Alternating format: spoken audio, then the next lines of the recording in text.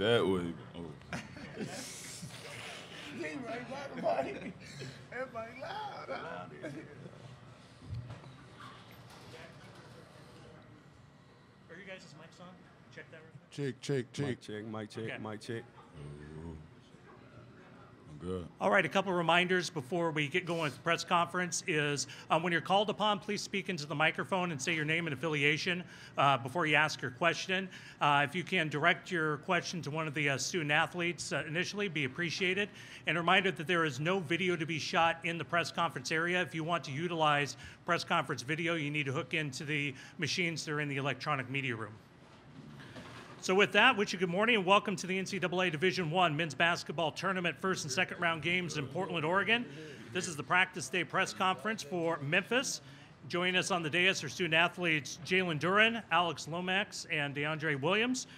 Uh, reminder that we'll first take questions from the media room, and then after that, we will ha- have questions that are asked by our attendees that are on Zoom. Welcome to Portland. Welcome to the NCAA tournament. And at this time, we will open it up to questions. Go ahead. Uh, Mike's not on. Mic on.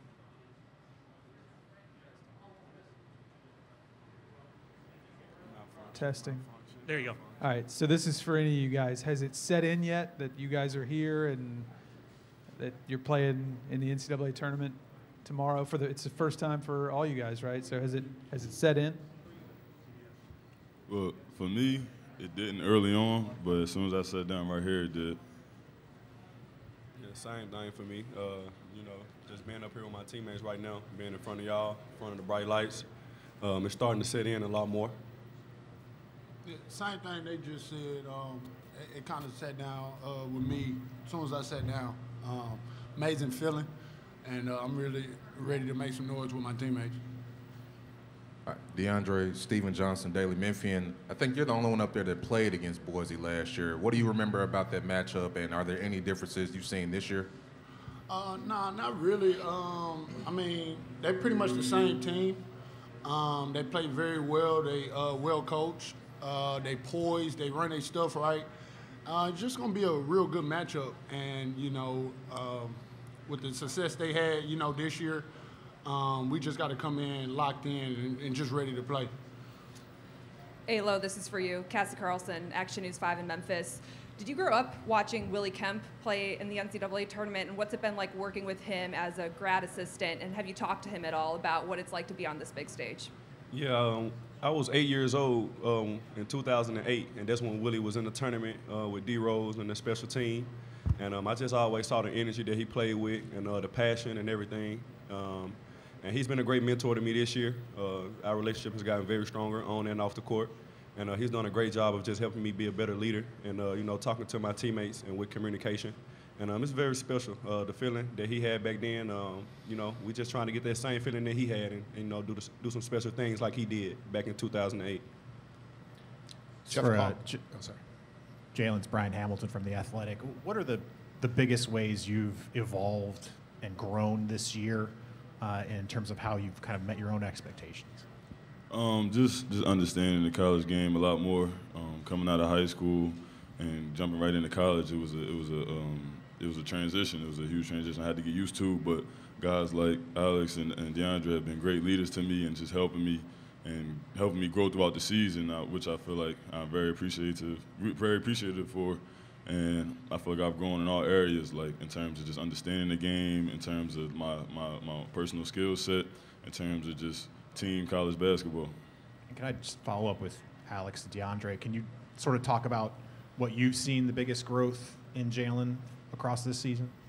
Uh, the biggest growth from Jalen uh, is his mental. Uh, he came in with a great mindset uh, from day one, and um, just to see from day one to now, uh, he's he's learned the game. He's learning the game of basketball.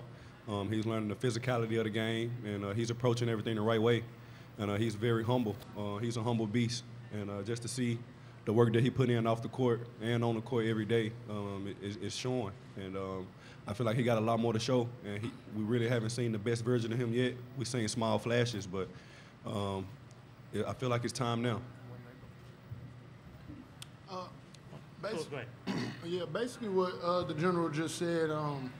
Um, amazing talent. Um, the, the, the guy just he just he just amazing, man. What he does on the floor, off the floor, um, how he attacked the game with his mindset. Um, he just really locked in on winning and you know making history, and that's the one thing you know I like about him, uh, his mentality. And you know every time he step on the floor, he's ready to play, and he motivates all his teammates. Geoff Calkins, Geoff Calkins from the Daily Memphian for Alex. You were talking about watching the team in 2008. What do you remember of that, being a little kid watching this team in the tournament, and what then does it mean for you to lead this team into this tournament again?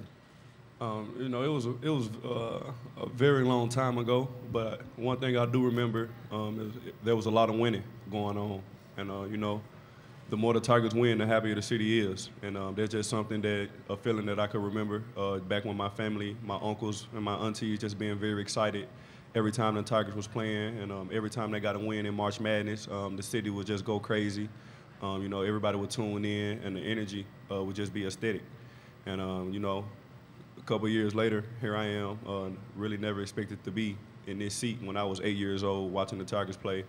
But you know, God kind of you know blessed me. Uh, Coach Penny, everybody blessed me to be in this situation, and um, I just want to leave it all out on the court, uh, give it all I got, uh, just be the best teammate that I can be uh, to everybody on the court and on my team. John Mallory from uh, KTIK Sports Radio in Boise. And if we could just start with you, Jalen, um, just seeing what you've seen from Boise State, your opponent on tape, what impresses you the most with how they play? Um, seeing the uh, film that I've seen, um, they're they're older team, which means they understand the game a lot more. Um, I think, like DeAndre said, they're really poised. They run their they run their plays. Um, they they seem like they they play together. They're really they, they got a great chemistry. It looks like on film and like they had a lot of success this year. So like obviously I wasn't there last year, but seeing them this year, seeing the type of team they are this year, it looked like they they're a well coached team and they they know what they're doing. Jay Tust, KTVB out of Boise. Jalen, this one's for you as well. Uh, going up against a guy like Mladen Armus tomorrow, number 33 for Boise State. Uh, he, he's, he's almost 24 years old. What type of challenge will his veteran presence be? And Boise State's also been extremely good um, on the offensive glass and rebounding in general. So, what type of challenge will that be for you guys as well? Um, I mean, for me, I've, I've been dealing with it all year. Honestly, it's nothing new to me. I don't look at no age. I don't look at no size. I don't. That's to me, it's basketball. I feel like I mean, I got confidence in myself. I know what I bring to the table, and I know what my teammates bring to the table. So honestly, I feel like no matter the age, size, whatever it is, I feel like we're gonna come out and do our thing. In back here.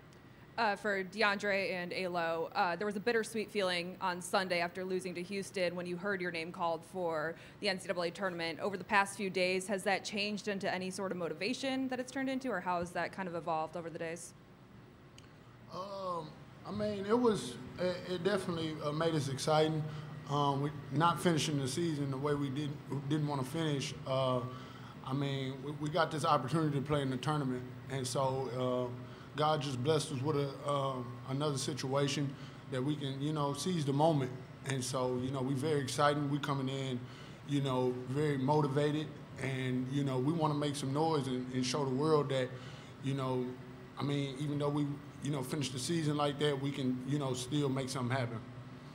Uh, basically, the same thing DeAndre just said. Um, it was a bittersweet moment, but you got to look at everything like a blessing. Uh, you know, the season's still going on. Uh, we're in the biggest tournament in the country right now.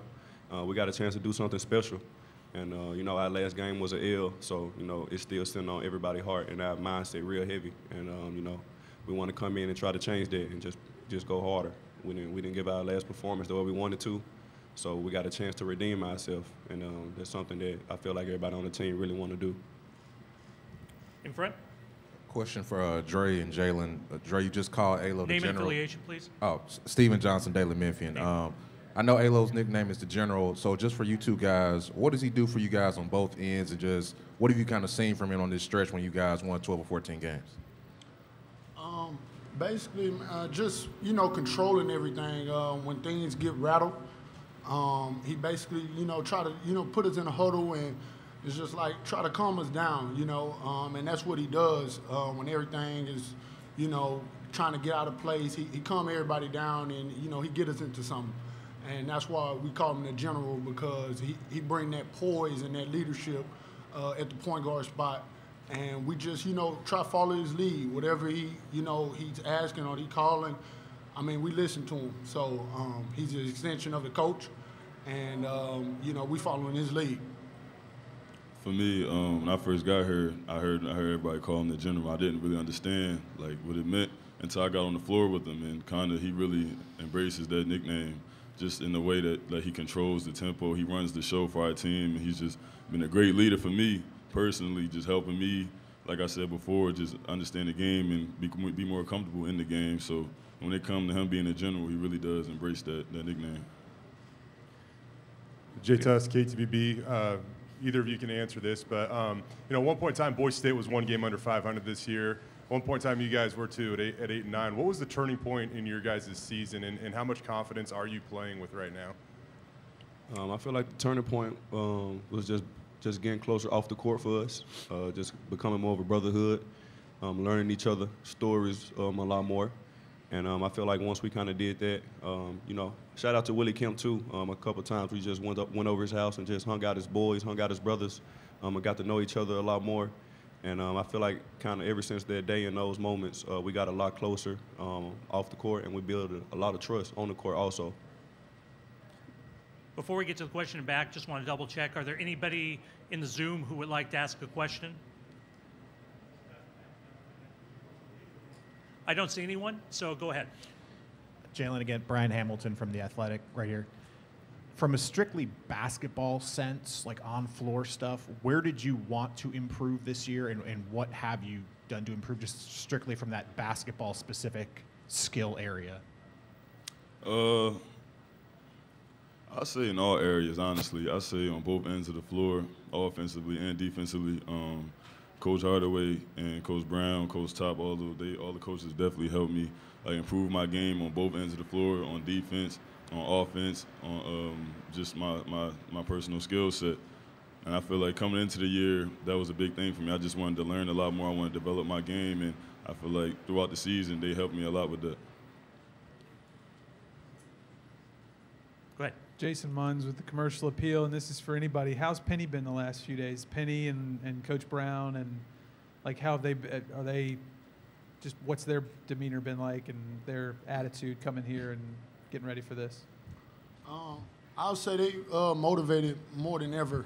Um, they just you know try to you know tell us what we do wrong and at the same time how we can fix it, and that's their greatness on you know what they they approach and how they, you know, approach the game.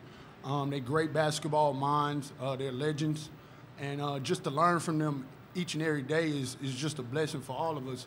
And um, they just, you know, elevate our game just off the knowledge they know, and you know, we we just keep getting better. Just you know how they teach the game and you know how they help us. Down in front here, and this will be our last question. This is for DeAndre Dave Woloshin, Memphis Radio. You're the only guy that was on the team last year that was playing because of the injury to, to Alo. Mm-hmm. You said Boise is very much the same team. Are you the same team, or how is this team different? Uh, I wouldn't say we're the same team. Um, uh, we we got a lot uh, more talent, um, and we got a lot of different pieces that you know come together, and we just I mean, I can't even really explain it. This team here is just, it's, it's special. And um, I really felt like, you know, in this tournament, we can really do something uh, amazing just off who we have, uh, the coaching staff, and everything like that. But this this matchup is, it's going to be beautiful, and um, we're going we're gonna go out there and give it all. All right, Jalen Duren, Alex Lomax, DeAndre Williams, thank you very much. Thank Good luck tomorrow. We'll have Coach Hardaway on the dais momentarily.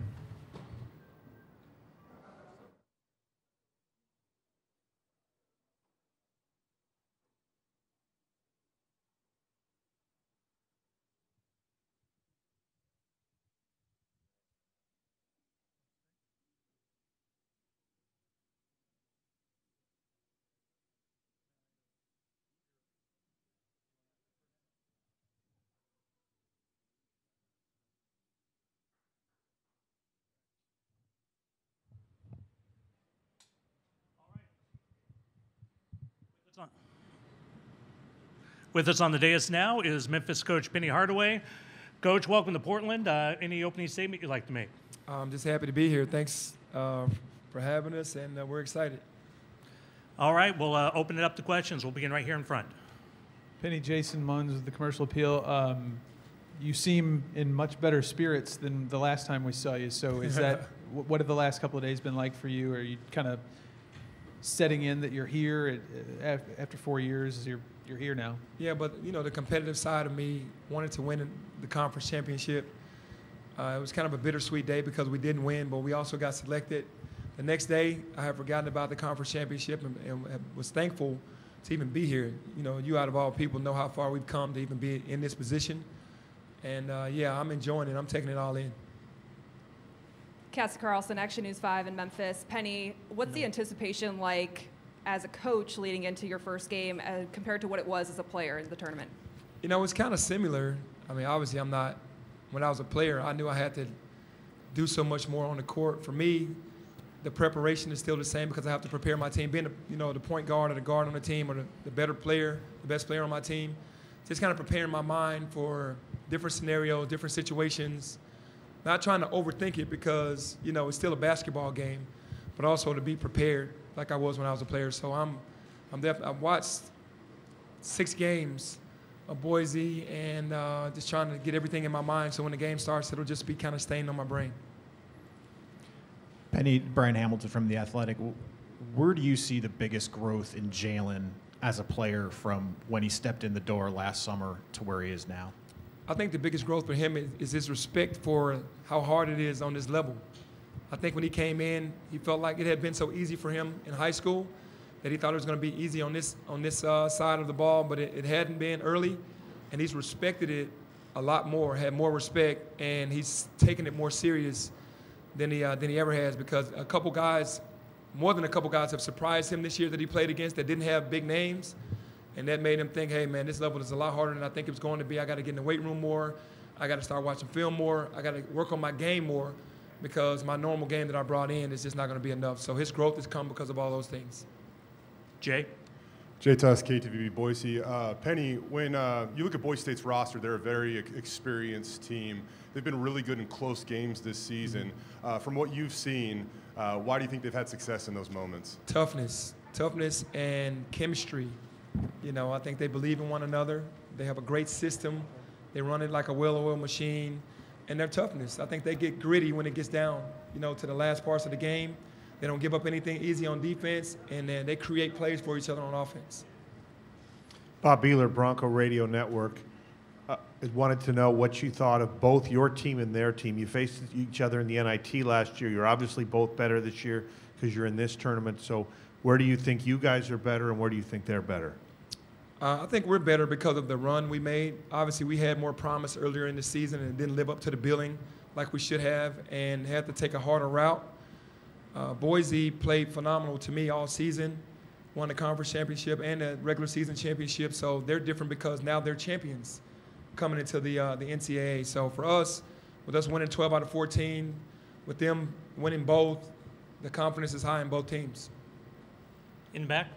Uh, Orlando Sanchez, KGW TV here in Portland. Uh, Coach, from a local perspective, just your initial thoughts on being here in Portland. Wondering if you have any memories from you know, your playing days or working with Nike on Portland in general? Well, obviously, if you know my my history in, in, in the NBA, just Nike is so instrumental in my career uh, with Little Penny and having my own signature shoe line. So I've always loved coming to Portland to, uh, to go to the Nike meetings, obviously to play against the Trailblazers, which was always hard to do.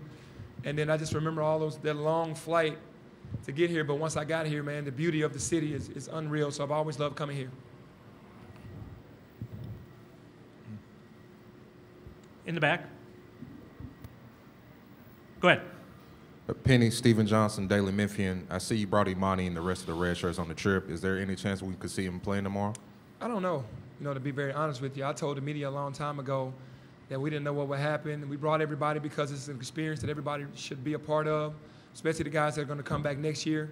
You know, you get here, you feel it, you see it, and when you get into June, guys start believing and understanding what it takes to get here because this is a beautiful thing. So we wanted everyone to experience it. Up.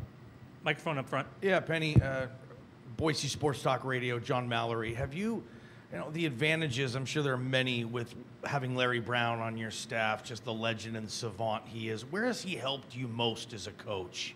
Uh, he's helped me in a lot of areas. Uh, obviously, with um, early offense, just ideas on early offense, um, believing in my values, and just make sure I hammer hammer those in and don't don't ever go away from those.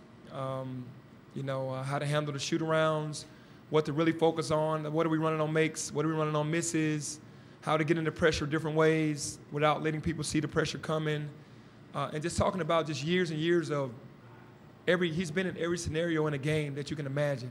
Just being over on the bench in different scenarios, just having him there to just bounce things off of during the timeouts. Mark Giannotto from the Commercial Appeal. Uh, going back to that answer you gave to Steven, does that mean there's a possibility Emoni could return tomorrow? I don't, I don't, I mean, he hadn't played, so I, I don't know. You know what I mean? He's here, and he's been practicing some, but has never played. Like, come back to see how his back feels.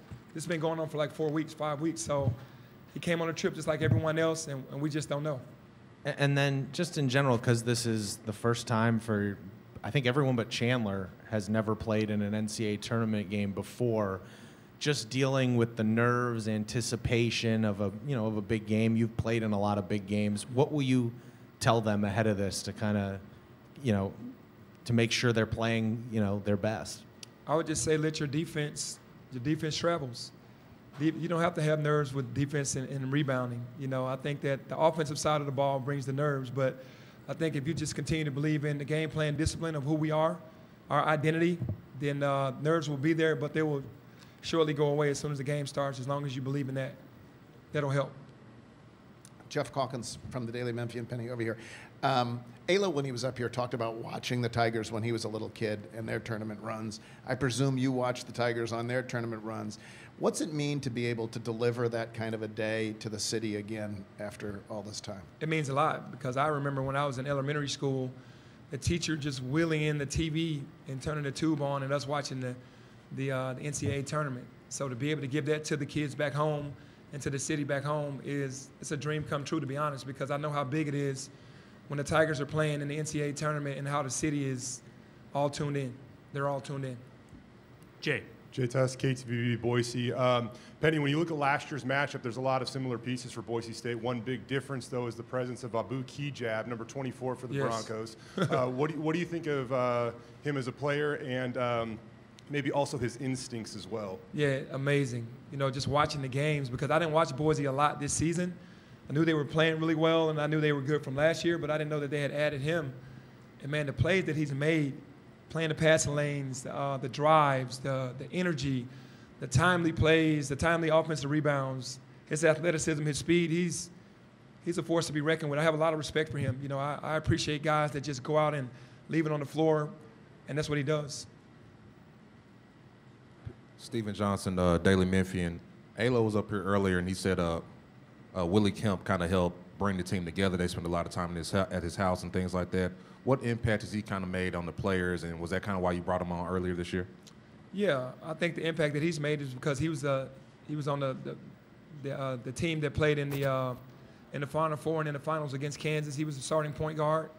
He's from the Bolivar area, which is only like an hour outside of the city, so he can kind of have some similarities there from being like almost a local kid that understands what it means to be from the area and then take your team into the NCAA tournament. And then he's just a great, great guy that bleeds blue. So he's always going to be positive with the guys, and that is one of the reasons why I brought him back because he's a former player. He started on one of the better teams that ever played in uh, in school history, and he's been here. In the back? Penny, uh, over here. Tim Booth from the Associated Press. Um, you talked about the, what it means to the community. I'm wondering, does it feel different as a as a coach taking a team to a tournament versus going as a player? And do you have a memory that sort of stands out from your opportunity to play in, in the tournament as a player? Yeah, it's, it's different as a player than, than as a coach because that's your job, you know, to to get the team to the NCAA tournament as a coach.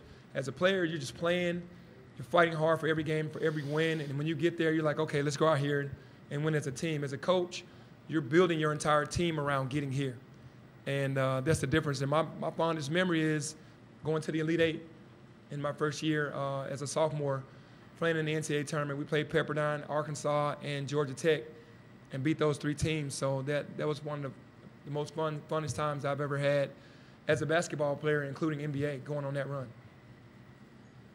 Penny, Brian Hamilton from The Athletic again. You kind of mentioned before with Jalen, he had those sort of aha moments, the reality checks. What, what, what were those moments that stood out to you where he kind of, that changed his mentality? Like you said, he knew he had to do a little more. Yeah, I think early on, not taking the, the, the pick and roll defenses seriously, uh, not studying enough his opponent, just trying to go in the game and make it up on the fly, uh, not running the court, just kind of jogging down the floor and not being just now he sprints down the court. He studies more film in the pick and roll. He knows how important that is now on this level. Whatever we need him to do, he does it at a high level. And uh, just that's the maturation phase of where he's come from because to where he is now because he wasn't doing that early on. Let me just double check real quick, make sure we don't have any questions from our Zoom audience. If you have a question, raise your hand. Nobody's raising their hand. Go ahead. Mark Giannotto from the Commercial Appeal again. Landers and Tyler didn't shoot the ball particularly well in Fort Worth. Did you see anything there? Were they getting the type of looks they were getting when they were shooting well and it just didn't go in? Is there anything needs to be adjusted? What did you make of their shooting struggles in Fort Worth? Yeah, I think it's just what it was shooting struggles. And, you know, they got the shots that they wanted, they just didn't knock them down. Those are the same shots that they've knocked down in the past. Obviously, you know that and we do believe in their shooting. You know, we're going to try to continue to get those guys shots, and uh, you know, I like my chances when they get looks at the basket. Jay, Jay Tust, KTVB again. Um, Penny, when it comes to Boise State's uh, rebounding tenacity, if you will, how would you describe it, uh, and, and maybe in particular their effectiveness on the offensive boards at times? Yeah, I would just say fierce. You know, the big fella, he gets in there and starts wedging people and then the other guys just crash in there. You know, we're used to that because we played against Houston, and that's what they do. It's almost like they're mimicking that, which isn't a bad thing because they, they believe in crashing the glass and they're reckless. They're just going to go in there and throw their bodies, you know, all over the place to try to get action on the ball, and uh, that's something that you have to do to be successful on this level. You got to rebound the basketball on both ends. This will be our last question. Jason Munz, Commercial Appeal. Uh, have you had any maybe this will come later, but uh, any flashbacks to your previous experiences in the NCAA tournament? Uh, I mean, I know it was when you were a player and all that, but like, are you having any, you know, are, or any memories coming back to you about your time, uh, your experiences in the NCAA tournament? Yeah, I mean, we came out my first year and did some things that a lot of people didn't think that we could do by beating those three teams that I mentioned earlier. And then the, the next year, we came in as a higher seed and we lost to Western Kentucky.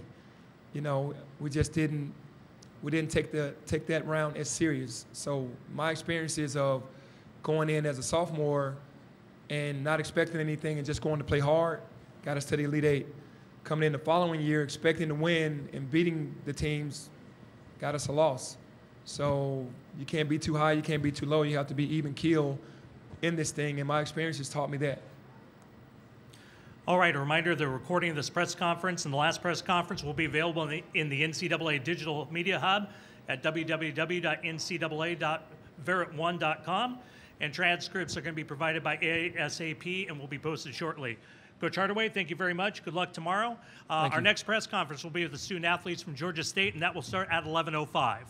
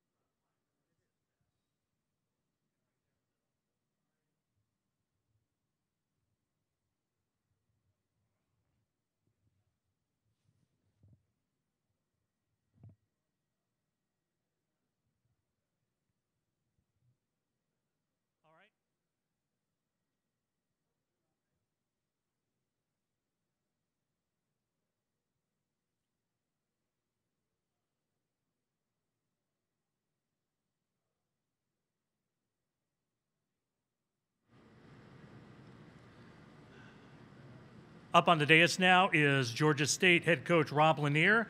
Coach, congratulations on making the tournament. Welcome to Portland. Uh, we'll go ahead and open with any kind of opening statement you'd like to make, and then we'll open it up for media questions.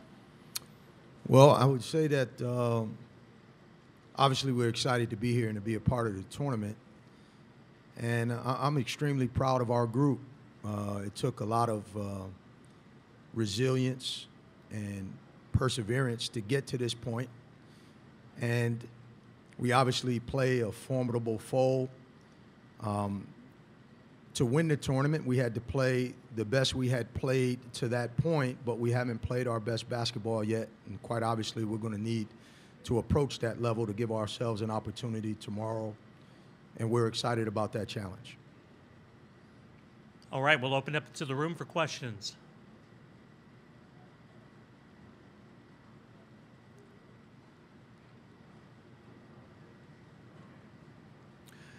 So, co- okay, we do have one in front. Brenna Green, KREM Two. Uh, Coach, this, you know, obviously, you, you knew you were making the tournament. What was kind of your initial reaction when you saw the number one overall seed pop up on the other side of the bracket? Well, um, I was hoping to kind of sit there and have some anticipation for when our name got called, and then they called it right away. um, so I was a little bit caught off guard, to be honest with you. Um, but you know, I, I didn't have any expectations going into it. Um, I was I was really truly open-minded about the possibilities. Uh, I wasn't locked into all right, what seed we're going to be or whatever.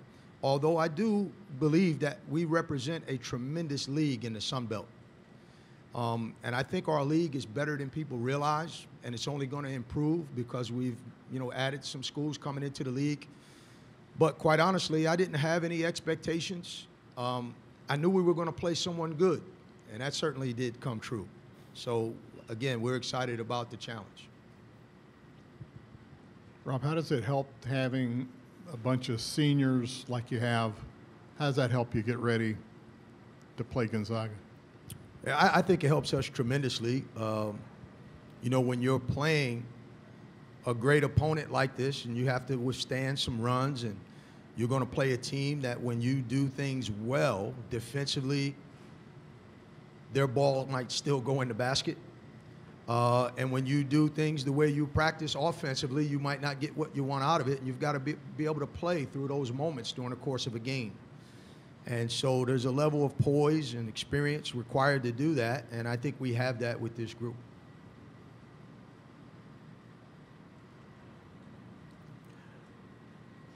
Coach, we asked the same question of your players in that there's probably a lot of big time basketball fans who don't know who Georgia State is, but obviously they're a special group that has played well enough to win a championship and get to this point. Can you talk about what makes this particular team so special? Well, I, I would say, you know, last year we got to the championship game with this group, and we had five starters returning who all averaged double digits for a team that was top 20 in the country in scoring. My concern in the offseason with the preseason number one ranking that we had coming into our league is whether or not we would be able to handle that. And I thought that would be our biggest challenge. And as we were trying to address that challenge, we had some injuries and we had some COVID disruptions that put us in a unique place in terms of becoming the team that, I, that we had hoped to be. And then when we finally got healthy, um, it wasn't until mid January that we had everybody on the roster available to us.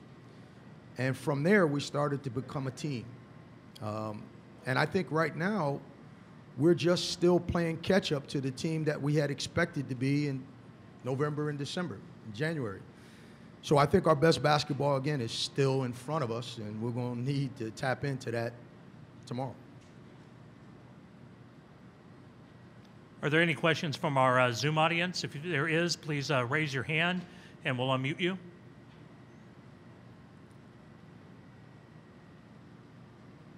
Okay, not seeing any. Other questions from the room?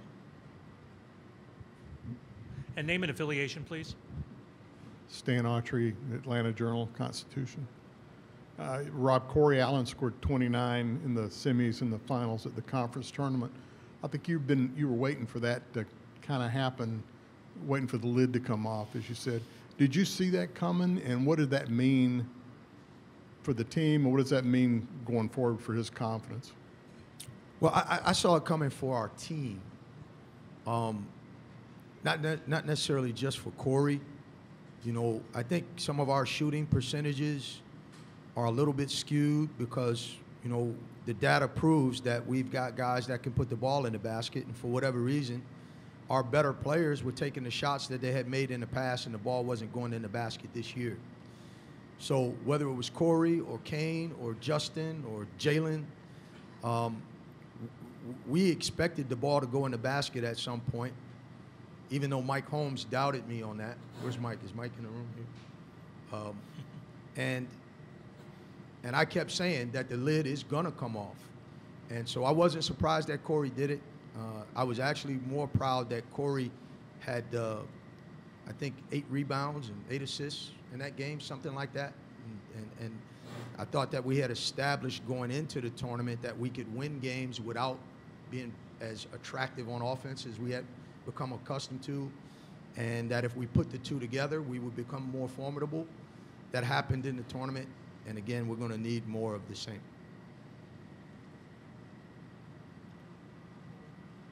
Any other questions? Uh, seeing none, Coach, thank you for being here. Congratulations again on making the tournament, and best of luck tomorrow. Thanks, guys. Reminder that we will have a recording of this press conference available in NCAA Digital Media Hub at www.ncaa.verit1.com. Transcripts are provided by ASAP and will be posted shortly.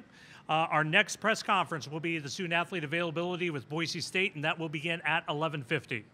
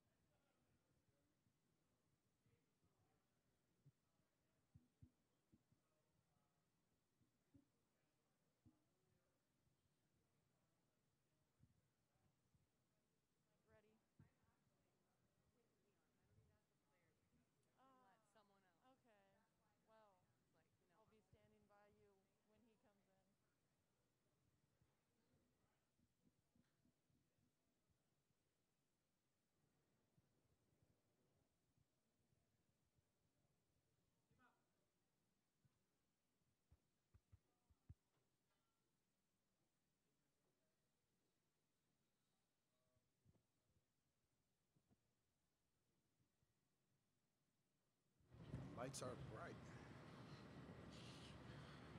All right, a couple, couple reminders as we.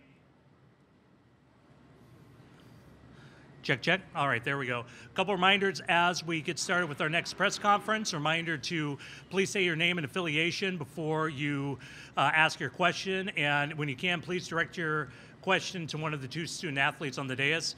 And a reminder that there is no video recording within the press conference room itself. If you'd like to uh, use video of the press conference, we encourage you to plug into one of the units in the electronic media room, or you can download the press conference from the NCAA Media Hub uh, once we are done. So once again, good morning. Welcome to the NCAA Division One Men's Basketball Tournament first and second round games in Portland, Oregon. This is the practice day press conference for Boise State. And joining us on the dais are student athletes Emmanuel Akot and Abu Kigab. Gentlemen, uh, congratulations. Welcome to Portland. And at this time, we will open up the questions. We'll start right here. Uh, BJ Rains with Bronco Nation News. For both of you guys, you've made so much history this year. You've already set a ton of records, but that final thing is winning that first tournament game in program history. What would it mean to you guys to get it done tomorrow? It means everything to us. We work for this. Um, we have confidence in ourselves, and you, you, know we made history, but there's there's still more we want to accomplish. So we're just going there, taking it, you know, uh, moment by moment, and you know we're excited for tomorrow. Like you said, man, we're going to take it day by day, moment by moment, and uh, we're going to fall back on our habits, and everything's going to take care of itself. Abu, John Mallory, KTIK Radio in Boise. Um, I know you watch a ton of tape in a short period of time. How much have you been able to cram in on Memphis, and what are your initial thoughts? Uh, we've been watching them for a little while now, um, a couple days, and um, they're a really talented team. They're a really talented team, very athletic, uh, play a different style of basketball. And um, you know you got to come to play against Memphis. Uh, they're like I said, they're a really talented team, very long, and you know they could beat anybody in the country. So you really got to come ready to play. E-Man um, and Abu, you can answer if you want here. You guys both transferred from big schools, Arizona and Oregon. Those schools usually more prone to face a team that looks as physically uh, gifted as Memphis does. Do you think that helped you early on in your career and you can pass some of that knowledge to some of your current teammates who maybe haven't faced a team as big or as physical as what you're going to see tomorrow, E-Man? Um, definitely. I think you know we have a really experienced experienced group, and there's you know there's not much like a lot of us haven't seen in college basketball. So I think just understanding that you know we could we could be any team in the country, but you know we they're a very good team too. So we just have to come ready to play. Um, when I was a freshman in Arizona, we played Buffalo and we got destroyed, and that just kind of taught me that you know when you come in an NCAA tournament, you know all these teams are good, so you gotta you know bring your best effort. Jordan, Jordan Kay with the uh, Idaho Press. Uh, for both you guys, the cliche around this time is experience wins in March, but for both of you guys, like, what's the difference in playing, you know, for one year together and now in a couple years? Like, how much have you grown? And like, what do you see as like the biggest advantages of that? Uh, we know each other's game very well. Uh, we know what we do well. We know what we're not good at, and we stick to our strength. We stick to our strength. Um, that's pretty much it, to be honest. You know, the game is very simple if you let it be. So we just try to go out there, make the simple right plays, and you know, over the course of a 40-minute game, you have something special at the end. Like Abu said, you know, we understand each other's strengths. We have really good chemistry. And, you know, all our games are really different, but I think it complements each other really well. So I think, you know, just having that, you know, understanding of how to play with each other is going to really help us this tournament. Gary? Kerry Eggers, KerryEggers.com. Abu, you, you started your career at, at Oregon, first two years, and, and transferred. How, what's the difference in the two programs that you noticed, and how has the change been good for you? Um, Boise State's just been unbelievable for me. Um, I love the family atmosphere that I experienced right away. Coach Rice did a tremendous job of, you know, really helping me fit in. Um, it's just been an unbelievable experience for me at Boise State. I'm very grateful and thankful for everyone that helped me throughout the journey, and um, it's just been an amazing experience. You know, I I could sit here all day and talk about it, but um, you know, I really got to give a shout out to my Boise guys. They really helped me out. Jay. Jay Tust, KTVB. Uh, Abu, if you wouldn't mind telling, uh, why is Emmanuel such a good leader, and how will those qualities help you on the court tomorrow? And then Emmanuel, if you could answer the same question about Abu after he said. Emmanuel's unbelievable, man. He's unbelievable. He's our point guard. He's extremely vocal. Um, he's our rock. He holds us together. Um, even in those games that he wasn't playing this year, you can hear him on the sideline, and just his voice and presence makes a huge difference. Um, he has so many great qualities, and the stuff he does on the court is is just, you know, the numbers don't say enough about what he does. You know what I mean? The passes he makes, those skip passes off the pick and rolls, those dimes he throws out of the post, um, his ability to create his own shot from three, two, and at the rim. So he does so much for us, and he's con- going to continue to do that. And I can't wait to play with him tomorrow. It's going to be great. Appreciate you. And for Abu, he just he embodies what Boise State's about. He's a great teammate, great leader. Um, he's always so vocal. He has a really great understanding of the game, and he you know lets us know um, you know things we could do better on the court. Um, he holds us accountable, and then on top of that, he's an ultra competitor and a, a really, really, really good player. And I think you know sometimes it goes you know understated. I mean, he was a second round or second um, team player in the Mountain West, and I think we all know he was a first teamer. So he's just a, a really good player and a really good teammate, and embodies what Boise State's about. Bob Behler, Bronco Radio Network. Uh, for both of you guys, you were with the team last year. Boo, I know you didn't play in the game against Memphis. Both teams are in the NCAA this year. You guys were both in the NIT. So, where do you guys think you're better than last year? And then from looking at film, where do you think they're better? Um, starts with our defense and rebounding. Uh, it's been a big emphasis all year, and I think we did a pretty good job of continuing to bring that every single day.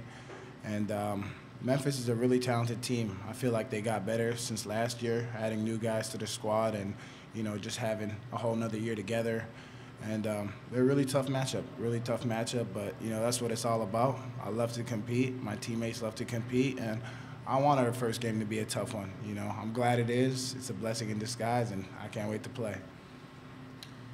Yeah, um, our team definitely, like Abu said, I think defense and rebounding, we took a huge leap. And I think just, you know, having, you know, our roles more carved out, really understanding, you know, uh, the game plan. And then for Memphis, I mean, they have a, a lottery pick in Jalen Duren, who's, you know, a lot to handle on the glass. So adding him is, you know, huge. And then, you know, they have a lot of, you know, big athletic wings who got a lot better. So it's going to be definitely a battle. Will Hall, KTVB. Abu, I know you're a film junkie. What stands out to you about Jalen Duren? Um, he can actually pass very well. So if you know if you're doing a pick and roll and he gets out on that short roll, he's very capable of throwing those lobs up to his guys down below or hitting the guys in the corner when they help, or you know going in there dunking or hitting a little floater. So he's a very talented player and he's also an extremely good defender, one of the best shot blockers in the country. So he's a really good player. You've got to be locked in on him and. I love the challenge. My guys are going to embrace the challenge, and that's what basketball is about. So. Jay Tust, KTVB. Abu, uh, talking with Penny Hardaway earlier today, he says that he really respects your game, and he said that you're a force to be reckoning with. Reckoned with. What does it mean to uh, hear a guy like Penny Hardaway, who obviously has his place reserved in basketball history, uh, say that about you, where he respects your game? Um, it feels good, but obviously I can't get too caught up in it. We still got a game to play tomorrow, and um, Penny's a hell of a player, Hall of Famer, and just to hear that from him feels good. But like I said, you can't get caught up in all that. We still got to go tomorrow and play. EJ Rains again with Bronco Nation News. What, you know, first tournament appearance for most of the rest of your guys here, and for this program, you know, in seven years. I know you guys haven't been out there for the practice and stuff yet, but what do you, how confident are you guys that this? Why, why is this moment not going to be too big for this team? Why, why is a veteran team like this ready for a moment? Um, I think the only difference between this tournament and all the other games we played is there's millions of people interest, interested instead of you know just a couple thousand or hundreds. So I think it's the same process, just a basketball game at the end of the day. So you know we're just gonna look at it like that and you know come out to compete. Like he said, we're gonna approach it with the same mentality we approached every game. Whether there's 10,000 people in the stand or 100 in the stand, it doesn't matter. So. We have one question from the Zoom room. We'll take that, then we'll come back to the room. So, uh, Taylor Allen, you should be able to unmute. Go ahead. Can we bring our audio up?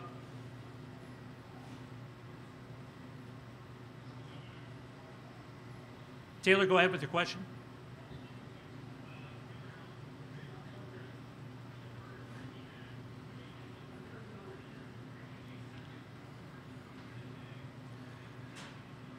We're, we're not able to hear the question here, so we're gonna, we'll, we'll, we'll get the uh, technical difficulties worked out. Uh, we'll go right here in front, Jim.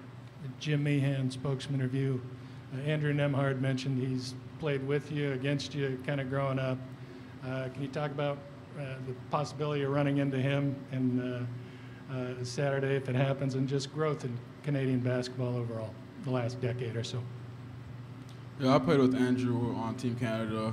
Uh, we're really good friends, so you know, you know, we beat Memphis. You know, that second round matchup against Gonzaga. If they won, you know, that's definitely going to be something we'll talk about forever. But uh, the growth of Canada basketball has been huge. Um, you know, dudes every day.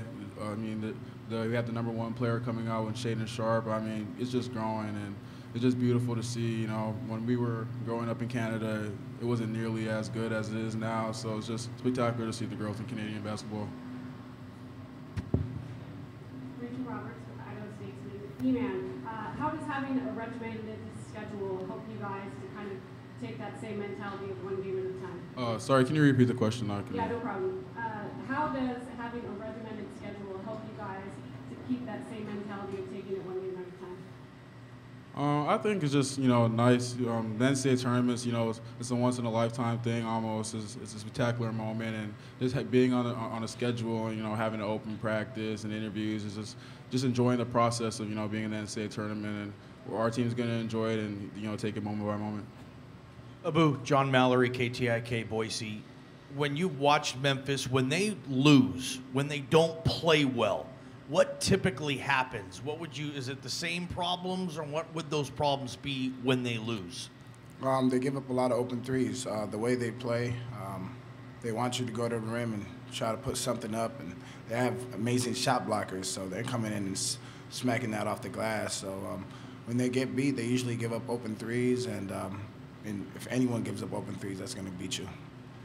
We have time for two more questions. Jones, KTV. E-Man, um, when you make multiple threes this year, Boise State's nearly un- unbeatable. So what is it about you and the confidence gives you when you see that first one go through? And in terms of your health, uh, Leon said maybe you're in the Mountain tournament, you're, you're almost back to full strength when it comes to uh, your, endurance and everything. Where, where do you feel like you're at? Um, can you repeat the first question? Yeah, Sorry. just you, you, the confidence you get when you see a three go down.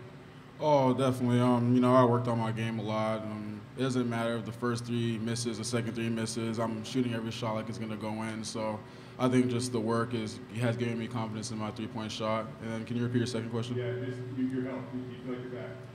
Um, my health, yeah, definitely. Um, endurance, getting a lot better. Um, last game I sprained my ankle, so that's a little that's a little rough to work with. But tomorrow, you know, I'll have the adrenaline. It's also my birthday tomorrow, so nothing stopping me from playing. Last question.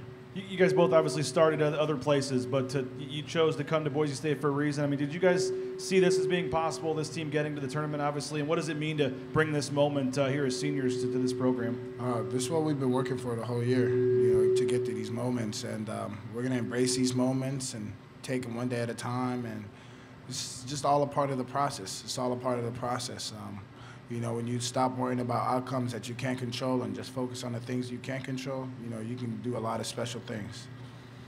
Yeah, um, you know, you have to believe it first to accomplish it, and I think you know every single person, you know, part of our program believed that you know we were going to be an NCAA tournament team and Mountain West champions, and uh, we're just going to bring that to the tournament. All right, that's our time. Emmanuel Akot, Abu Kigab, thank you for being here. Best of luck tomorrow. Thank, you for having us. We'll have head coach Leon, Leon Rice on the dais here momentarily.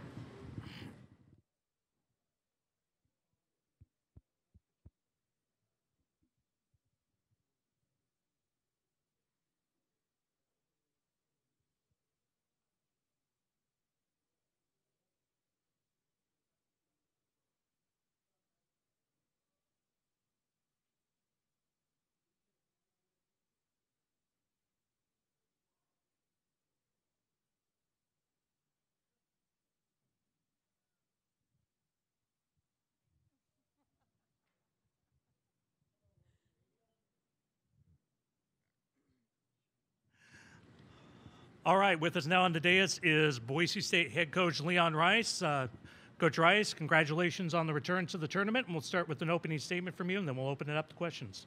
Well, we're, we're you know, we're excited to be here at the NCAA tournament and here in Portland. Uh, you know, it's great to be in the Northwest, and hopefully we have a great turnout of Boise State fans. And uh, uh, you know, lo- our guys couldn't be more excited to play and, and get after it tomorrow. Lindsay. USA Today. Hi, Leon. Uh, there's a few term, a few families in the NCAA tournament. Obviously, you and Max, but then there's also like Will Graves is playing at GU, and while his dad coaches at Oregon, it's unique to Joe have. Few, Joe Few is it? Yeah. Yeah. Don't forget Joe Few. there's there's a lot of them. Um, it's unique to have a parent who really understands what a kid that is going through in college sports and vice versa.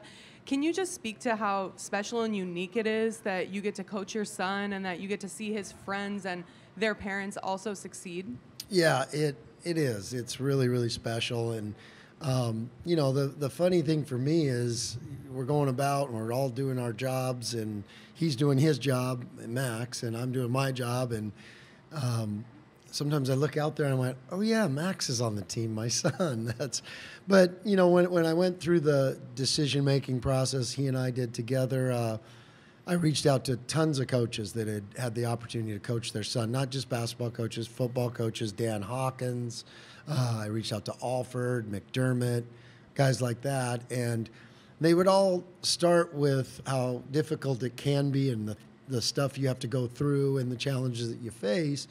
But they, they all ended it with, you got to do it. It's the greatest experience. And and you know they're right. There's there's been challenges. There's been hard parts for both him and me. And um, but in the end, it's been been so rewarding. And then you know what Max brings to this team has been amazingly valuable. And he does whatever the the game needs or whatever the team needs. And Akot was out, so Max went in and started and scored 17 in one game and 13 in another. Well, then E-Man comes back and Max says, "All right, I'm a ball mover. I'm a shooter. I'm a you know, uh, you need rebounds tonight. I'll go get nine of them." And so his role on this team has been so important. Um, you know, to see those other guys. It. I mean, we have a. Uh, the spokesman did a great, and I apologize for not knowing who wrote that story, the name off top of my head, but it was a terrific story uh, about them all growing up together and what they got to experience and and you know being along for the ride from being a little kid to now they're playing in these games and and being a part of it all from the other side and and you know a bunch of them want to go into coaching and I thought the best line in that uh, uh, uh, article was that I said, "Well, of course they want to go into coaching. There's nothing else those guys can do." They, and I think I even called them a word that I probably didn't. Yeah. Uh, but you know, they've just been around it their whole lives. That's all they know, and they know the coaching stuff, they know the playing stuff, and they're kind of you know, and it shows up in the way most of those coaches' kids play. Is is they're a little bit wise beyond their years on the court. Uh, BJ with Bronco Nation News. Coach, you've obviously made a lot of history this year, the wins record, the championships, everything else, but how badly does this program want to win the, the first game in tournament history? It- our job's the same. You know that that that's we've never um, how badly we wanted to win the conference championship, how bad we want to win the tournament, how badly we want to. It's the, it's all the same as far as that's the magic of what these guys and the way these guys have approached it. They they've wanted to win every game the same way, and they competed that that same way. Our mission's the same. Our job is the same. It's business as usual with these guys, and you know the the way they've approached their business all year long has been just tremendous. How, how they compete and how they fight every night, and um, so in that aspect, you, you don't want to make. I mean, we don't we don't expect a Bob Beamon effort. We don't want a Bob Beamon effort. We need to do our jobs. Now we got to play really, really good, and they know that. But that's no different than the, you know, to win the Mountain West championship game or, or any of those. So our job is the same, and and for us, we approach it as business as usual. Coach, Austin White with the Portland Tribune.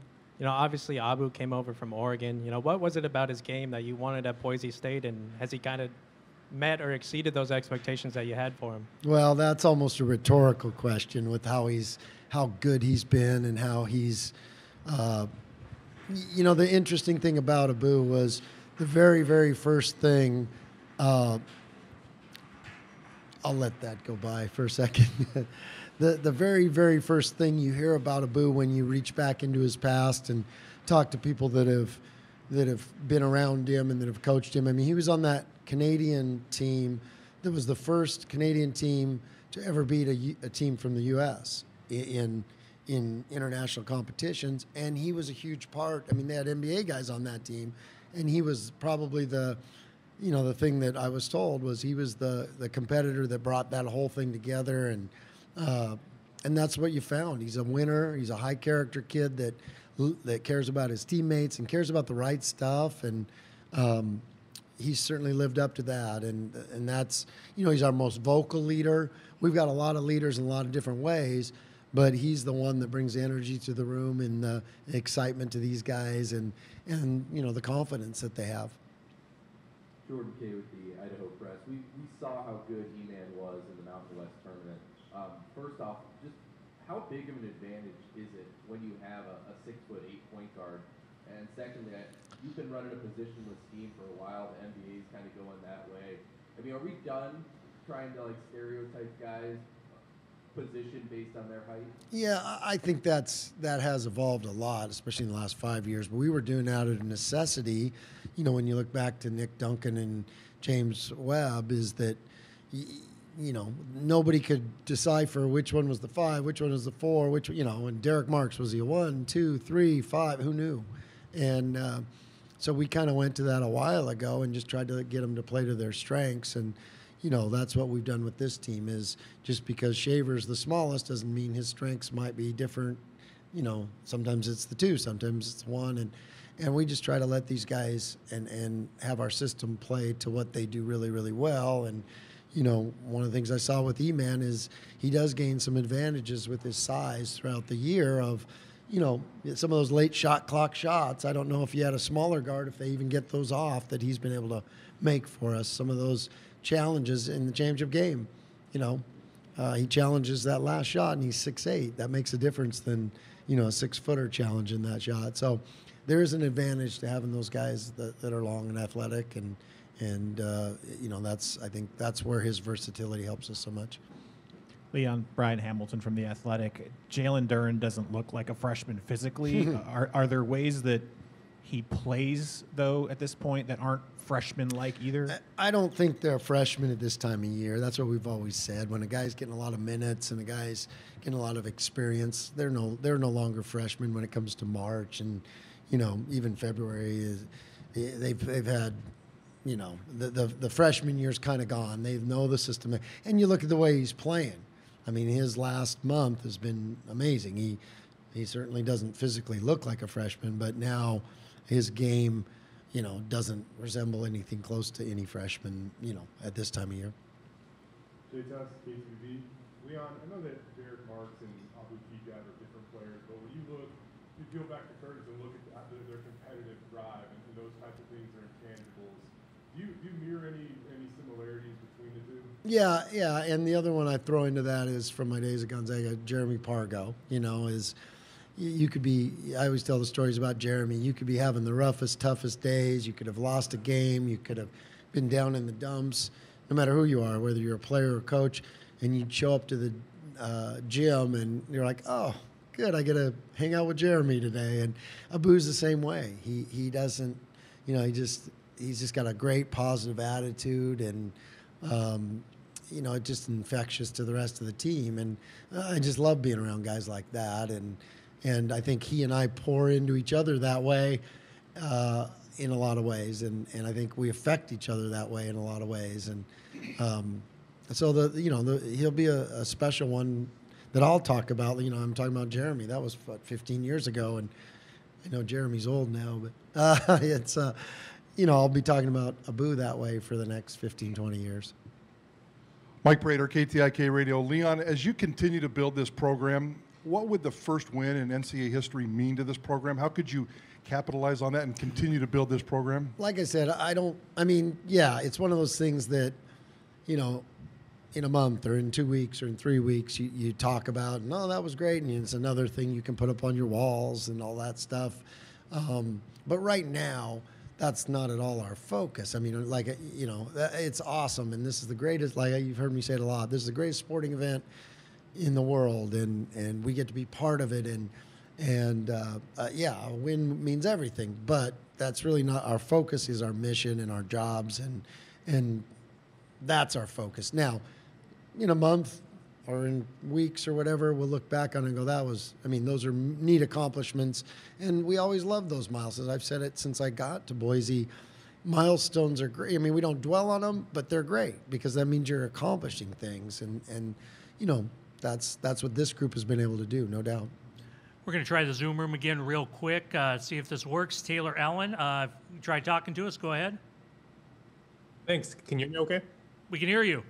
Okay, awesome. Taylor Allen from the Winnipeg Free Press. Coach, I'm sure you spoke to this uh, many times this season, but but what has Emmanuel Akot meant to, to this team, and how has he helped you guys have a record-breaking season? Well, he's another one that uh, you know he has great confidence, and um, you know he's a he's been a great team guy, uh, and then his versatility has meant so much to this team. And you know you can put him on, you can guard one through five. And last year he played, probably was one of the only players in the country that actually played one through five. So his versatility gives us a, such a freedom to use all the other guys in different ways that that let them play to their strengths. And um, but yeah, he, he's.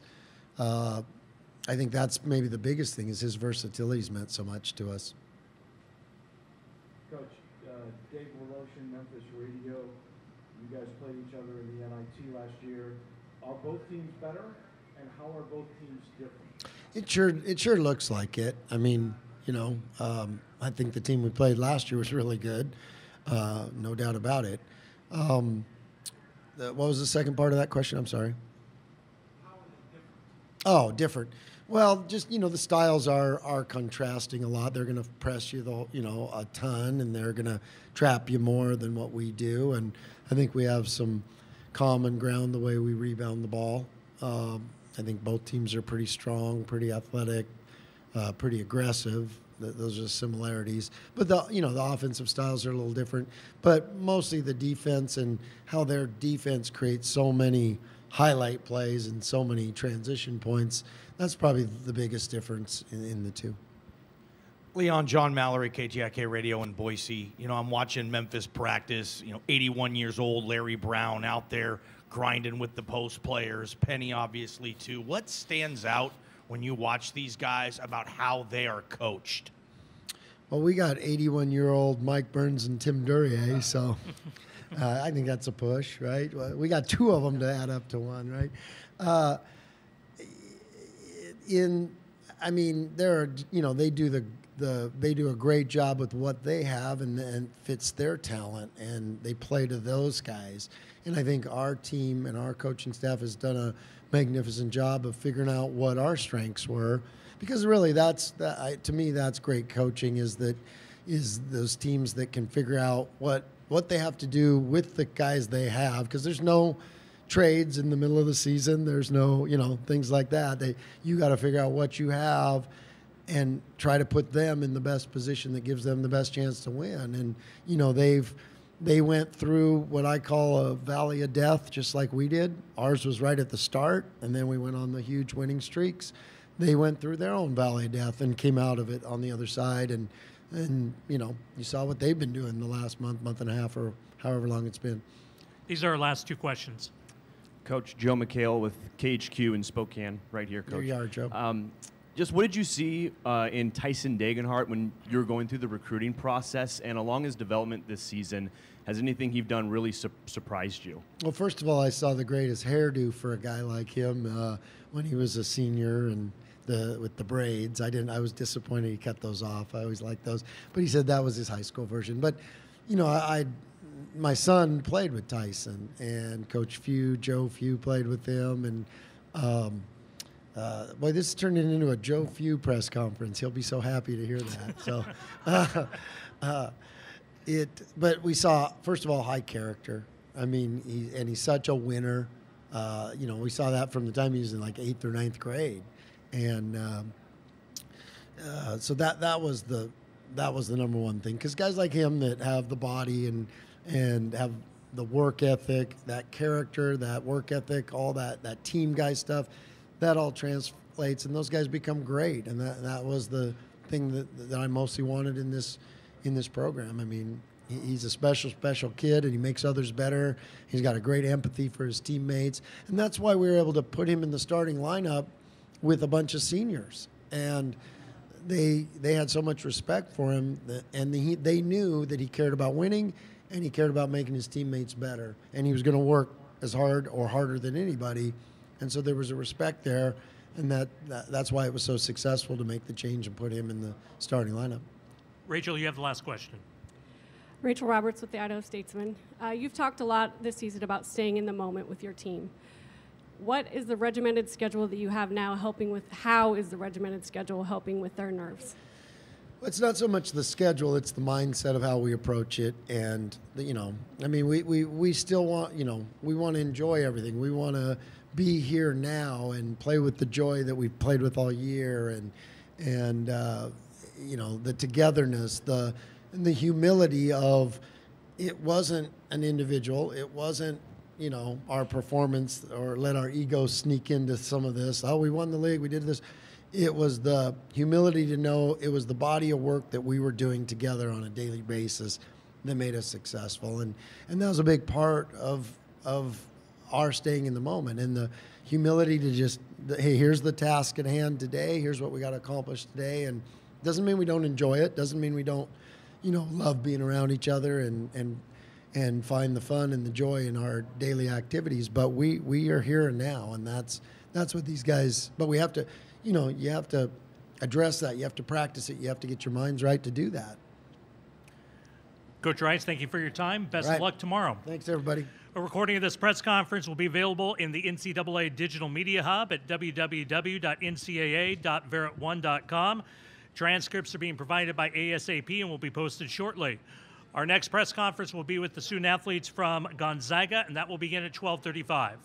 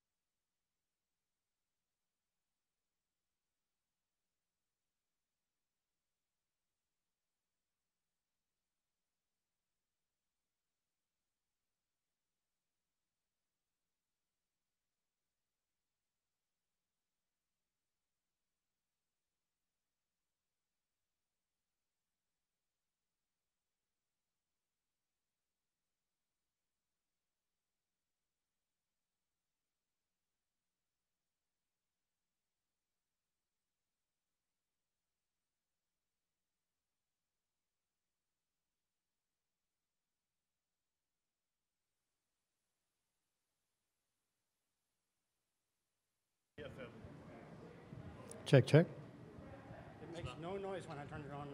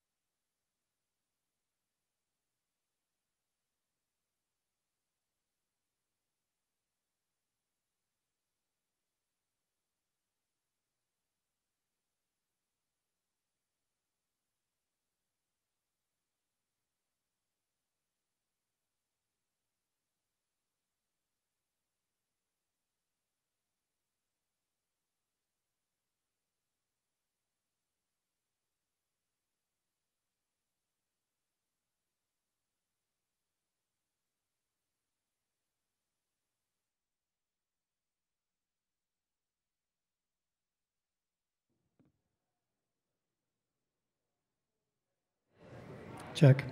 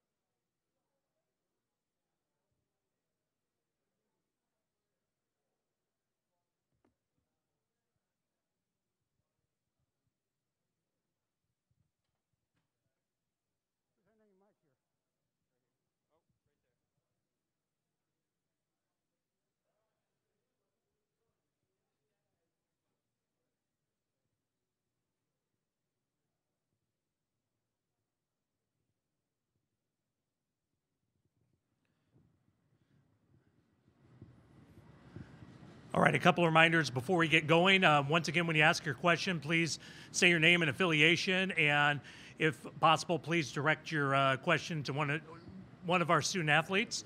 And a reminder that no video is allowed in the interview room. If you wish to access video of the press conference, you can plug into one of the units in the uh, electronic media area, or you can download later from the NCAA Media Hub. All right, this is the press practice day press conference for Gonzaga. And joining us on the dais are student athletes Julian Strawther and Rasir Bolton. Gentlemen, thank you for being here. Congratulations on the return to the tournament. And at this time, we will open it up to questions.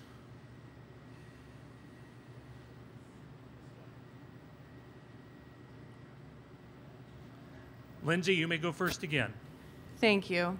Lindsay Schnell, USA Today. Um, I would love for both of you to detail for us, and they have to be different, your favorite highlight from Chet this season.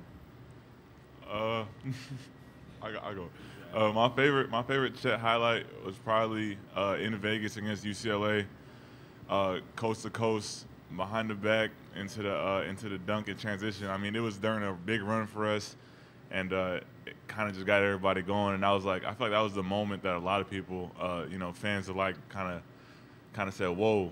And uh, you know, this kid, this kid's special. And I feel like we all had that same exact reaction. Uh, for mine, uh, I'm gonna go with something you guys haven't seen. Uh, it was one day in practice. He had came down in transition and uh, he had tried a 360 layup. So um, you know, seeing him every day, you know, knowing what he's capable of, just seeing a seven footer try and come down and do something that athletic or agile was very impressive to me. So that's probably my favorite moment. Austin White, Portland Tribune, uh, for Rasir. Uh, what's the difference, you know, if there is one, in the mentality of this team this year compared to last year coming into this tournament? Uh, as far as the team, um, I mean, I would just say, you know, it's a different team. Uh, you know, being in Gonzaga, you know, they have, you know, it's a different culture here. Uh, you know, a winning culture. You know, something, you know, they've been doing. Not to say Iowa State doesn't have that, of course, but you know, um, I just think it's just a different team. You know, the the cards fell where they fell this year, and you know, it played out well for us.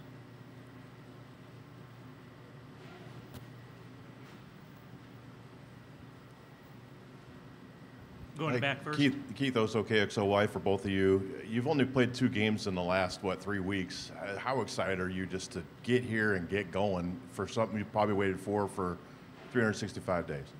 Uh, I feel like I feel like we've all been itching and real, real, real hungry to play. I mean, these are these are the games you dream to play in. You know, March Madness, the biggest stage in, in college basketball.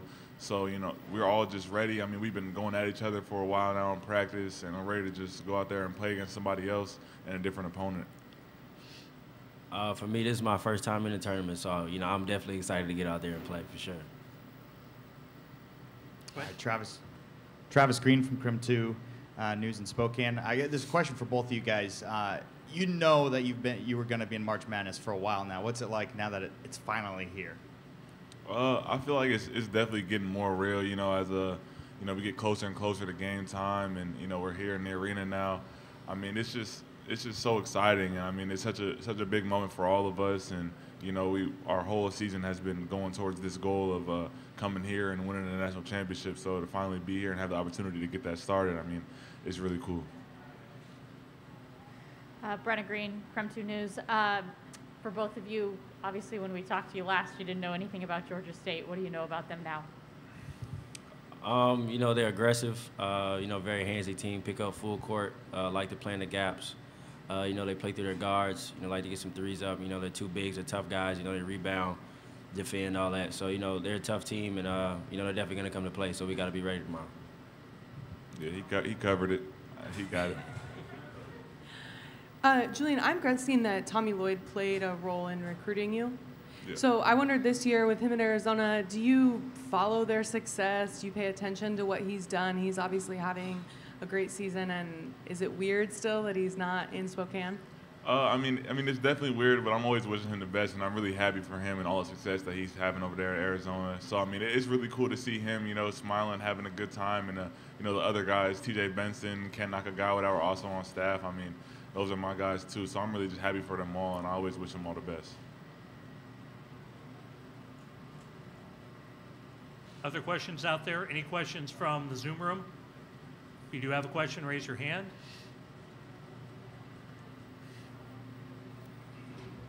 I mean, if no one else is going to ask questions. Um, Rasir, when you said that, you know, when Chet did that 360, uh, did he make the 360 layup or just attempted it in practice? I'm gonna say he made it. Okay. For you guys, like when he first showed up, when he first started playing open gyms, like, did you know much about him, or were you also blown away by what he could do? Um, I mean, you know, I knew, of course, from you know the the highlight clips and the YouTube videos and stuff like that. But uh, seeing a talent like that in person is definitely different. Uh, just to see how little things he does, you know, how easily he blocks shots and starts to break, or how he outlet passes or rebounds, or you know, really little things, you know, catch and shoot threes. So you know, seeing it in person was definitely a different experience.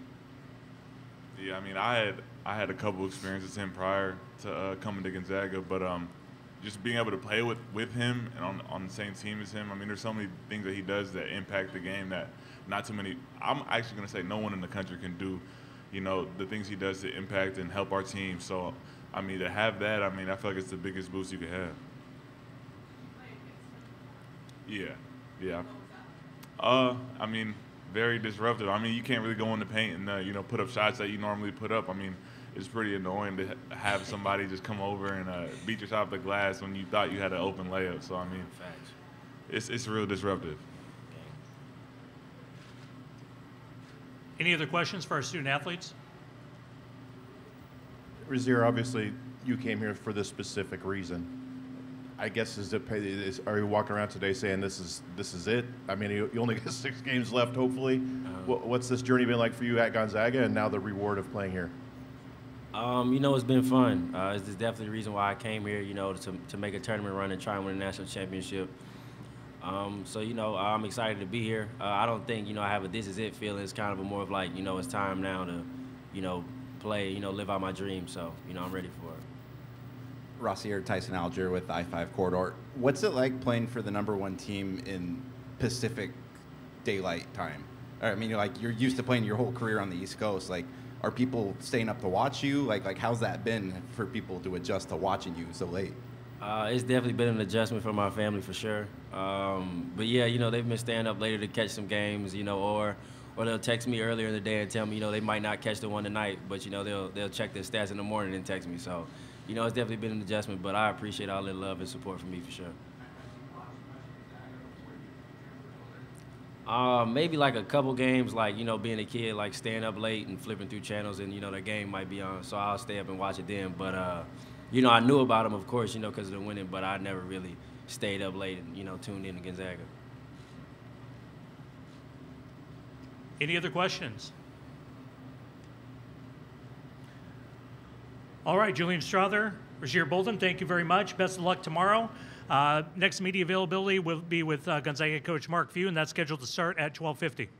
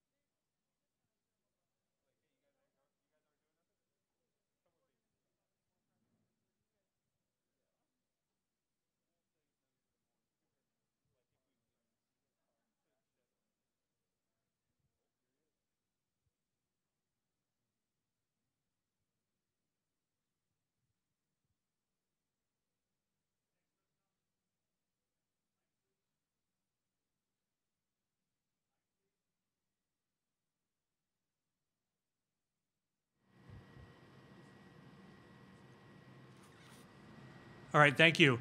Our next co- press conference is with uh, Gonzaga head coach Mark Few. Coach, uh, congratulations on the return to Portland. Uh, you can begin with an opening statement, and then we will open it to the room for questions. Well, it's awesome to be back to another uh, NCAA tournament, especially one that uh, you know we'll, we'll have fans at. Uh, it'll be great to, to walk out on the floor and and, and see the, the real and feel the real March Madness environment. So I think all of us are are so excited and feel so blessed to be able to uh, to get back to that. Uh, you know, from our team and our program standpoint, it's great to be able to come to Portland. Uh, we've obviously had some great memories here. We've got a lot of myself being an Oregonian and, and, and players from Oregon, and then just some real, real uh, uh, wonderful connections down here. And, and uh, but then you flip the script and, and you start watching tape, and, and uh, you know, some real apprehensiveness with uh, a Georgia State squad, kind of scratching my head and shocked that they're a 16 seed. I, didn't, I don't really see that.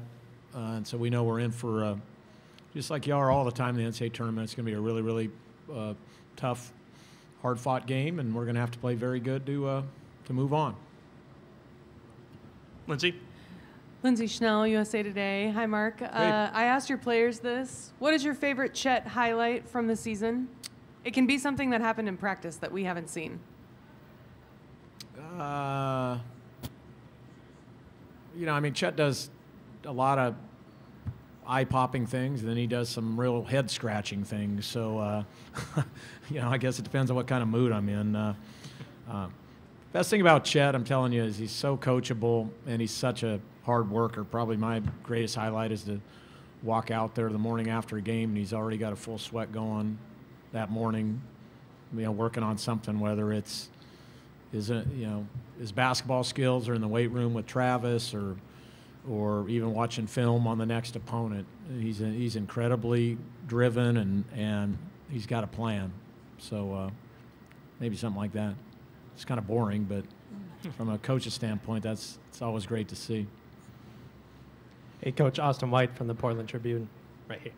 Uh, you know, you touched on your opening statement, some connections to Portland. Uh, you know, with Matt, Ben, and uh, your assistant coach Brian. Yep.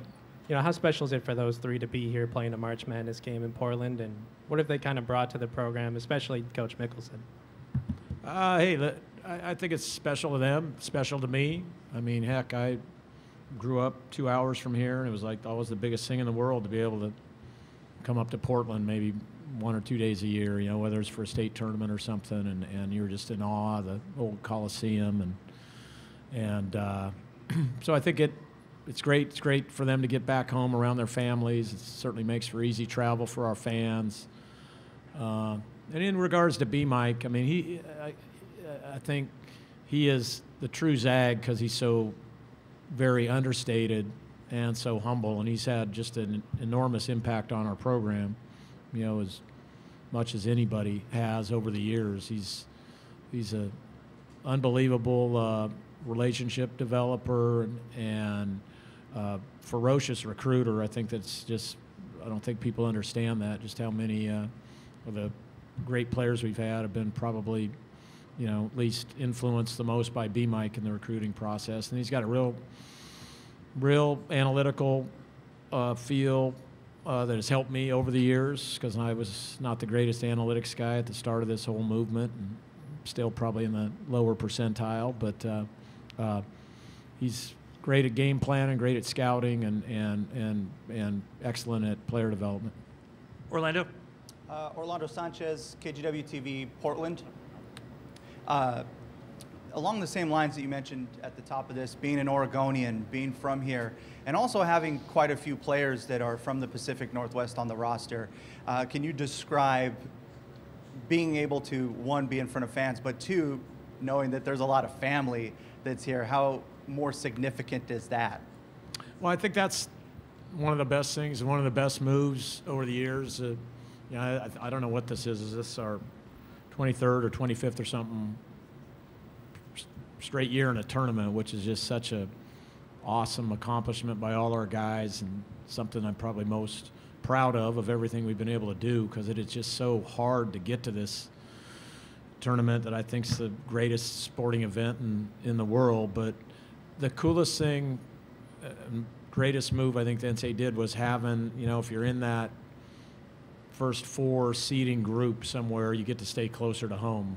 And just makes it so much easier for friends, for families, for our fans. And it really, really, really rewards teams for just battling and slugging it out over the course of four and a half months uh, and giving them something other than just a number on a line. And uh, so certainly, you know, we knew early on this year when we looked at it way back in September that Portland was, uh, you know, one of the host cities, and I think that was a that was a goal for all of us to get here. Brenna Green, KREM 2 News. Uh, you said you were scratching your head at Georgia State being a 16 seed. Why? because I've seen them on tape and watched them, and and you know they're just they're also they come from a conference that ordinarily doesn't. Uh, uh, it's not a 16 seed conference. Uh, they're very experienced. I think they were picked to win their league at the start of the year and just had some COVID issues. And then if you really want to look at the analytics, and some analytics are almost 90 points higher than than uh, uh, some of the other teams that were seeded 16 and us being the number one overall. It's just, again, I'm not sure. I think the committee did a great job breaking down the, all the top four seeds across the regions and, and, and even probably, you know, that's probably the most important aspect when you're in the, the committee room, that and then the, you know, last four in and first four out. And I think they did, did as good a job as they could do on that. But it's just, yeah, that's a head scratcher. This is not a 16 seed, and we've played plenty of 16 seeds over the years. Lindsay? Uh, Mark, you mentioned with B Mike that he's had a huge influence on your program. Obviously, there are a couple other coaches around here who have too, including Leon Rice, who you've probably passed in the Yeah. hallway, and Yeah. Tommy at Arizona. Yep. How much are you able to talk to them during the season? Do you check in on their scores? Do you ever watch them just as a friend and a supporter? Yeah, absolutely. We talk pretty much every day or close to it.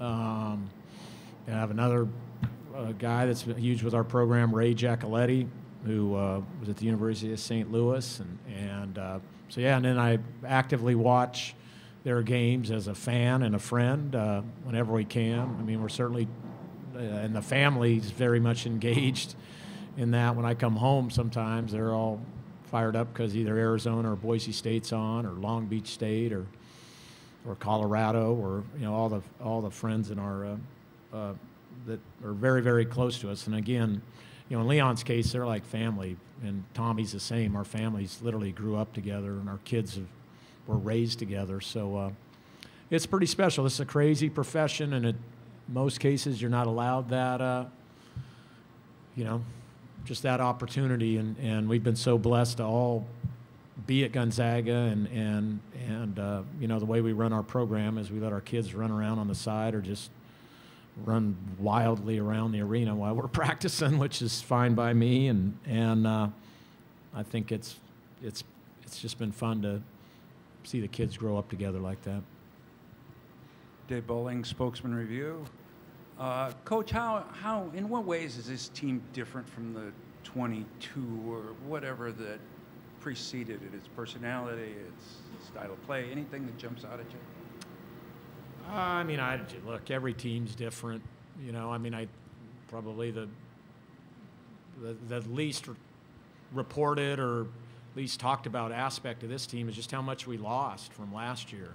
We have three guys that are in the NBA off last year's team, uh, and and two of them were, you know, had been with us a long, long time, and Corey and Joel, and were great players, but they were also kind of the heart and soul of our program. And then then to lose such just a, you know, a flying comet of a player in person in uh, in uh, Jalen, uh, that was a lot, and we had we had a lot of new faces, and and I think the the great thing about this year's team is how easily they assimilated together and how they gave up different aspects of their game for the good of the team, and and uh, you know, from Chet to to Rasir to even guys that you know, hadn't really done much a year ago. Julian Strawther stepped in, Anton Watson stepped in to have a, you know, just a great uh, uh, run this year. So I think that, to me, that's the big, the biggest story there. Tyson? In, in regards to uh, Ty- Tyson Alger, I 5 corridor over here. Um, in regards to Matthew Lang, what's it like for you when you get to put a guy on scholarship that had been a walk on for you? And then also, what did he, what has he done throughout his career to be able to get to that point for you? Uh, Matt's been great. Matt Matt's another true Zag who just gives you everything he's got in practice. He's he's a very very good player. I mean, he can easily play at you know other programs uh, throughout the country. He's really really developed um, you know over his time with us to where I mean he's a handful in practice. He was torching us pretty good yesterday. So uh, um, that comes from a great program, Jesuit High. Um, I mean, we've had a lot of Jesuit guys over the years that have had huge effects on our program, from Brian Michaelson to Kyle Wiltjer to you know to now Matt, and and uh, uh, you know comes from a great family, and it's it's uh, it's awesome to be able to reward a kid. Um, it's complicated in this day and age because the transfer portal is such an important aspect to filling your roster. So you're always kind of waiting around to see what's going to happen there. Unfortunately, uh, you know, we had one that we weren't able to use, so we gladly and and uh, we're excited to give it to uh, Matt. Keith Osso, KXLY, coach, you guys have raised the bar so high that there's only really one thing left to achieve as far as this tournament goes. What's that balance like for this being the greatest tournament in the world? And, and there's people that that you guys are the number one overall seed for the second year in a row. It doesn't seem like it's a big deal. What are they going to do in March? You know, what's that balance like to, to understand that, but to remind people, I guess, that the other 30 games matter too? Yeah, hey Keith, I, I just think just to not buy into that narrative. I mean, I I certainly don't, um, and I do everything I can to to make sure our players don't. Obviously, the people around us within the athletic department and and you know those of us that are close, none of us buy into that because we're out there battling and we understand all the people that didn't make it. I mean, I just look around the Pacific Northwest. I mean, or even out west, who who who was fortunate enough to to make the tournament, uh, you know, let alone get get a high seed. So uh, um, we feel blessed to be able to do that. The number one seed is is something we do cherish uh, because it just shows you know you're the best out of everybody for four and a half months. You you really really earned this. This this thing we start tomorrow is just a three week crapshoot, man. You got to be really good, but you got to be lucky too. Uh, and those are two different entities. Um, you know, we're at the point now where you're right. I mean, whether we haven't won it or whether we had won a championship, we want to win this thing as bad as anybody. Uh, but we're also, I feel, smart enough and balanced enough to really cherish uh, the accomplishment that we had not only this year but in years past. These will be our last two questions. Gary? Uh, Kerry Eggers, uh, KerryEggers.com, Mark. Another Portland kid, Ben Gregg. Uh, can you talk about his development as a freshman?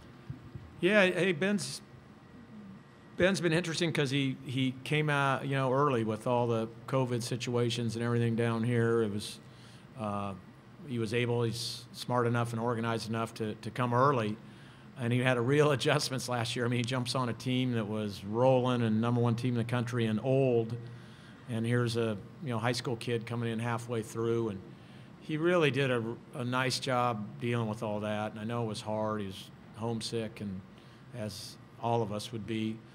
Uh, but he, he's he's behind some really really really good players, but he's got a bright future at at uh, GU. He's done a great job. He's battled through some kind of tough injuries.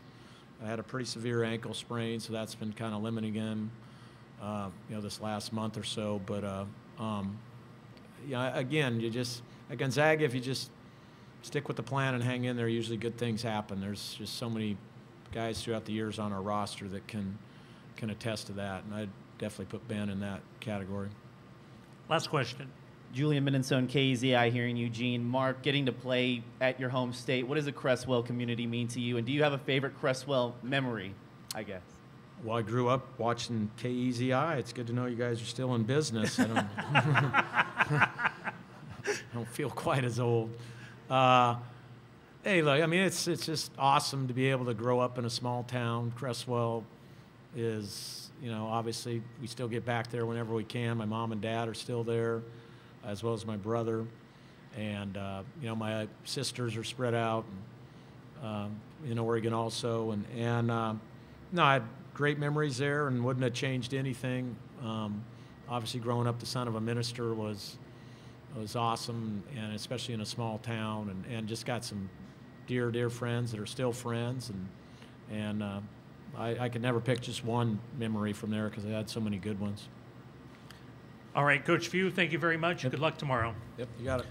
Reminder everyone that the press conference recording will be available in the NCAA Digital Media Hub at www.ncaa.verit1.com, and transcripts provided by ASAP will be posted shortly.